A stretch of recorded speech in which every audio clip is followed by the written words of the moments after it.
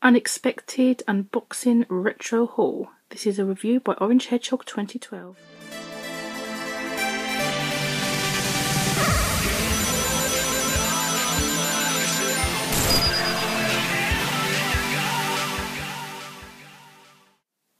Greetings fellow collectors, this is Orange Hedgehog 2012 and today I'm going to be doing a, un well, not unusual, but um, an unexpected um, Sonic haul for you today.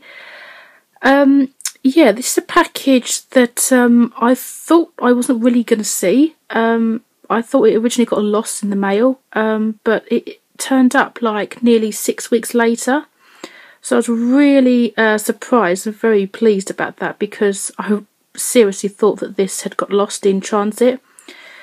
A um, bit of a backstory here. Um, I won a few items um, on eBay.com um, about six weeks ago nearly from a seller in the US. Um, they were sending a load of like retro um, Sonic merchandise from their collection, I assume. And I managed to pick up a few items. And yeah, um, because obviously I don't know why, but um, the package took a lot longer than expected. Um, six weeks nearly to be to be uh, precise.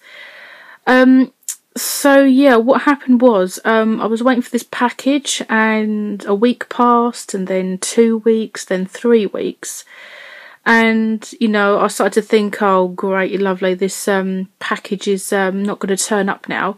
But I gave the the seller the benefit of the doubt because obviously because it's like sort of peak season and it's like nearing to um, Christmas and whatnot. Then I did expect this package to take a little bit longer, but um, yeah, after a month I just practically gave up and um, I got my money back.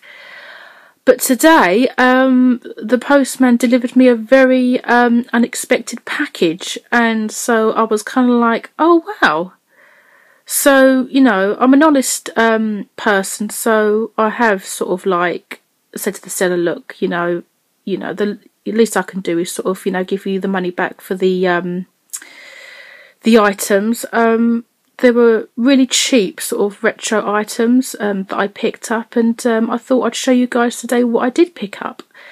So let's get started. So as you can see, I have opened the um, the box, obviously to make sure what the, the contents was inside. So yeah, I have opened it beforehand, but just to show you guys how long this actually has taken. Um, this was posted on, um, get the camera into focus, on November the 6th. So nearly sort of like six weeks ago so yeah, I'm really glad that it has actually um, turned up.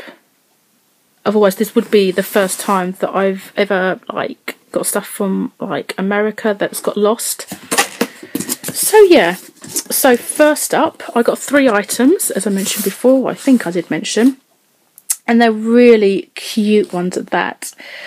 Right, so first up, I got these pair of adorable Sonic slippers and they are so adorable. Um, I didn't pay a lot for these actually. Um, these were probably around about like ten dollars. I think I paid something like that. These are from 1994.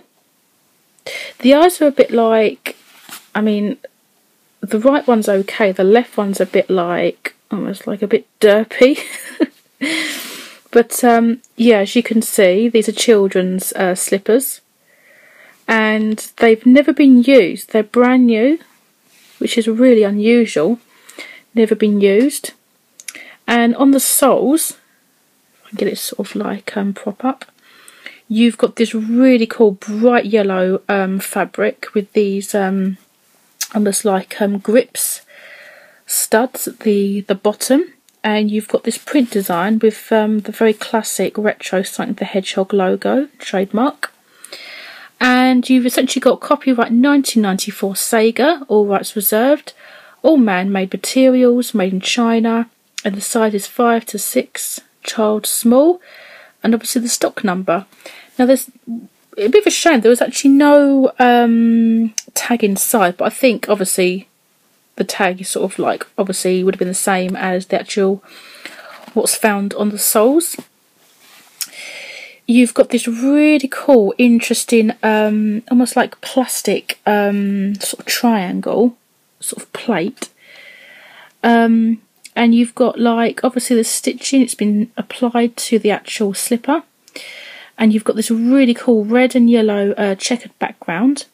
And you've got Sonic uh, in his sort of cross arms, sort of classic mode, or style, shall I say. Same again, the uh, very renowned Sonic the Hedgehog logo and you can see it's made from sort of like a um, vinyl sort of like plasticky sort of material. And see if I can get as close as possible but the camera blurring. As you can see from the reflection you've got this elasticated um, piece around the actual with the ankles obviously where the um, obviously you'd put the child's feet in. And it's really cool. It's like a yellow and sort of blue combination. Really cool, almost like um, almost like sort of woolly material. And you've got this really nice sort of blue sort of plush material they've used, almost like as if it was sort of like a, a plush toy. And you've like got this design at the front, obviously with Sonic. Um, you've got this obviously sort of stomach, his chest area. They've um, done and his nose is really quite interesting. It's almost like a pom-pom. But it's really soft. They've actually done some stitching detail to the actual slipper going all the way around. So they haven't done just one side, they've done like all the way around. You've got the white sections to his eyes. And these are sort of plastic, as you can probably just about hear.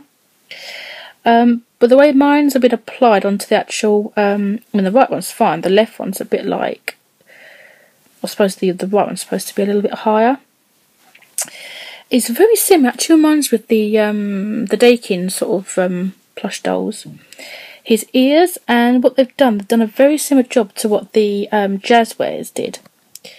Or what Jazwares did. And it's really difficult. The camera is not liking that at all. Um, let me try and um, hmm. oh there we go it's a bit better. You can see the actual uh, stitching detail.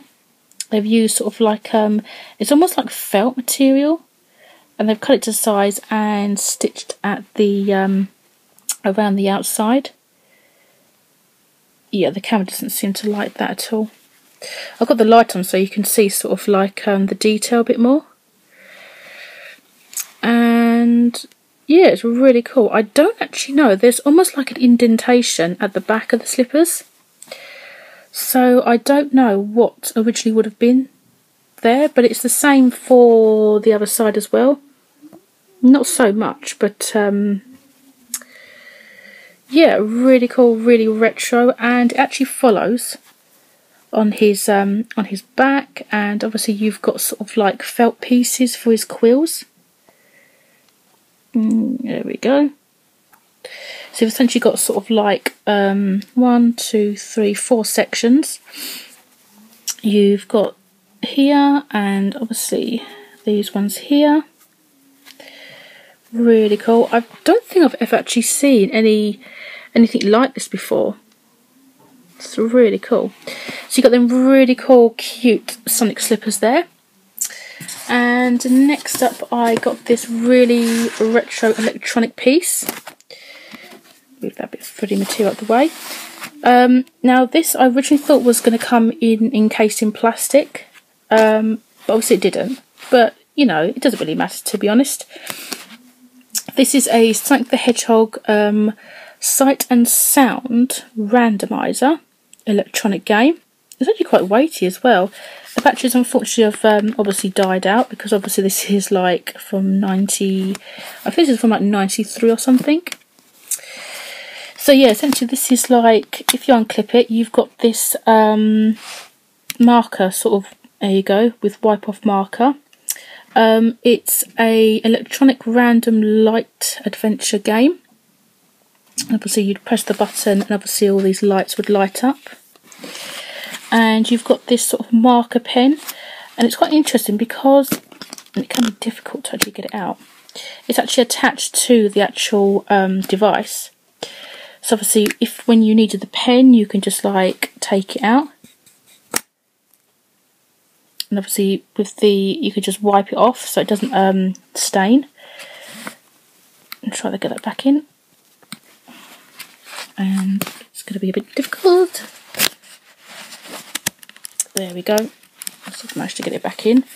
Obviously the sound will come out there and you've got obviously this clip. And when you opened it you've got all these different games here. And it's sort of made with quite a thick piece of like cardboard. You've got all these different um, games. So the first one um, is the checkerboard chase. Another one is terminal trap phantom phase tic tac trouble um, sea of rotten eggs with the Eggman there. Um, Speed Snag. And the last one is Orbital Obstacle. And then at the back uh, just gives you a bit of info. A bit of a sort of backstory. At the back you've essentially just got like obviously the battery, what it is and cautions and just yeah information about the battery. Runs a little bit dusty. So get the camera back to focus. So yeah, I thought that was really nifty. It's a shame it didn't actually come encased in plastic to sort of like protect it. We've got this really nice thick piece of light grey sort of plastic and you've got the battery compartment there. There's no actual sort of vocal sounds, it's just mainly sort of just like um just uninteresting sounds really. But um, yeah, I might have to check the um, batches on that. And this is the actual um, card that it came on. And as you can see, uh, it's the randomizer from ages for ages seven and up, and batteries included. But obviously they've um, died out many years ago. Seven exciting electronic book adventures and this is made by Golden. I'm not sure if it's made by Golden Bear. I know they do like sort of dolls, plush dolls. Um, and as you can see, without the um, the light sort of ruining it, you can see um, obviously press the button and the light um, chooses your next move. Win special moves when the bonus tune plays, and track your moves with the wipe off randomizer marker. That's all really cool nothing inside. At the actual back, um, okay.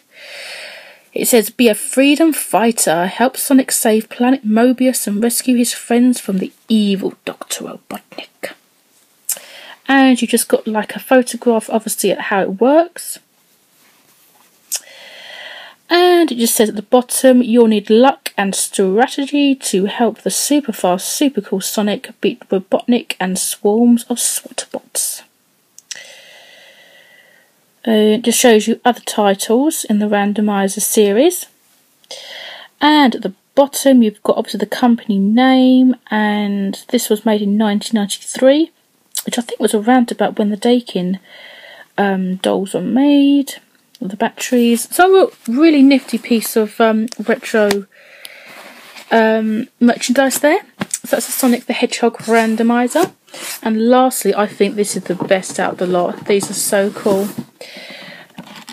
In a really cute um, little box there. These are a pair of Sonic the Hedgehog Sonic uh, Jogger well, we call them trainers in the UK, but obviously in the US, I think they're called like sneakers or what are called sneakers. Um, yeah, this is something that I just had to pick up. It is so cool. And in remarkable condition, considering its age as well.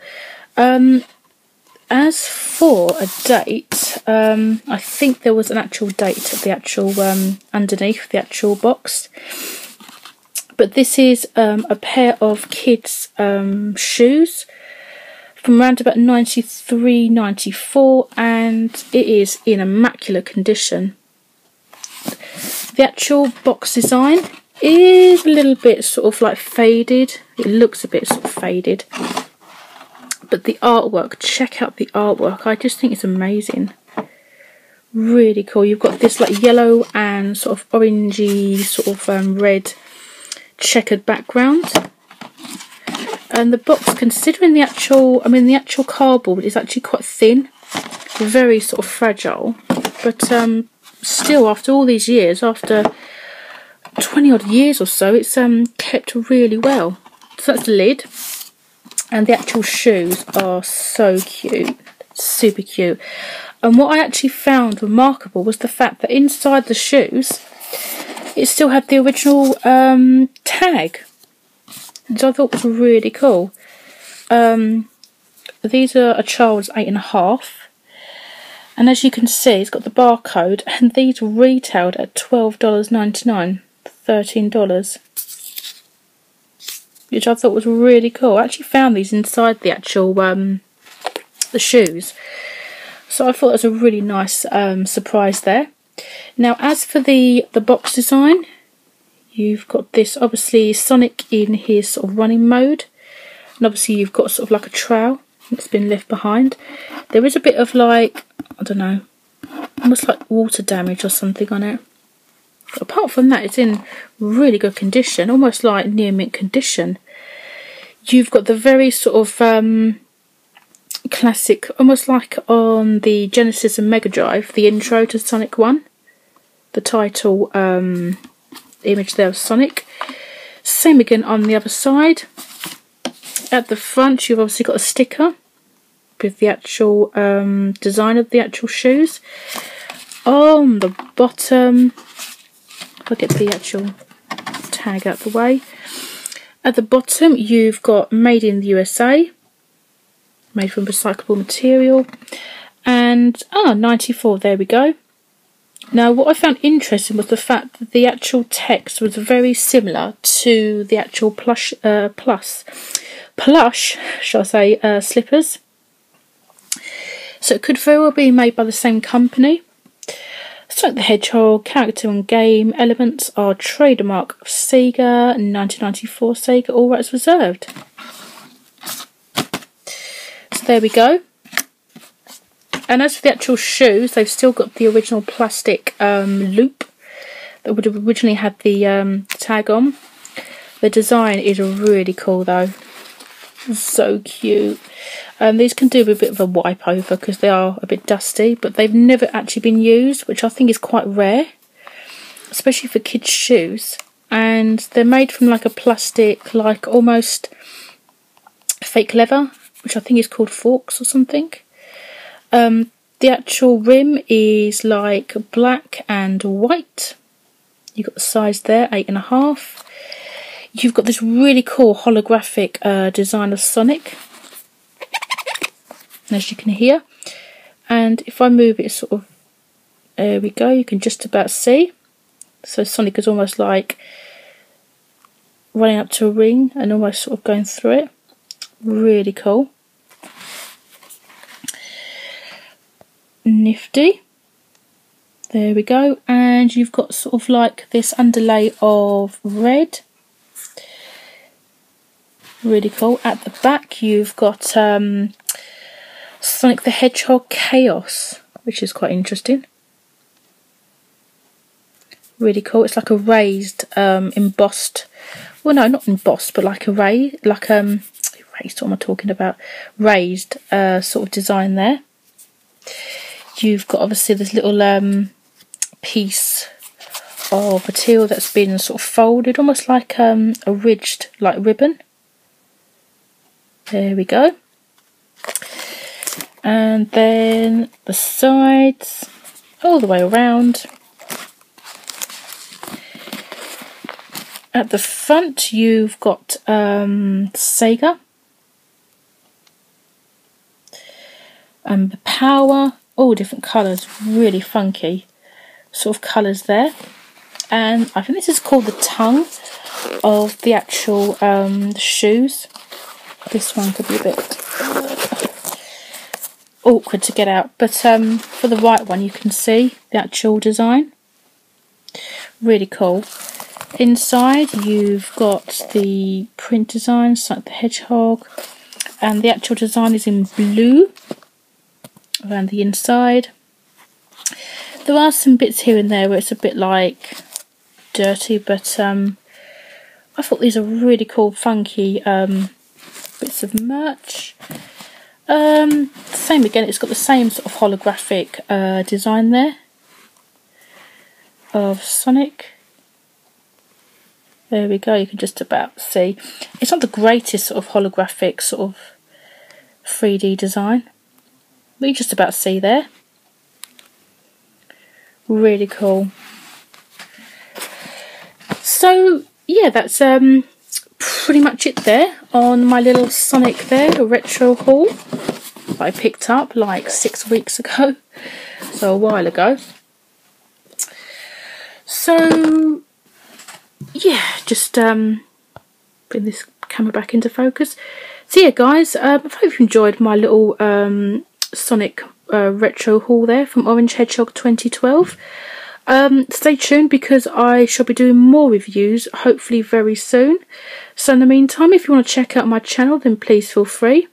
But as always, guys, take care of yourselves and I'll see you again soon for another review by Orange Hedgehog 2012. See you later, guys.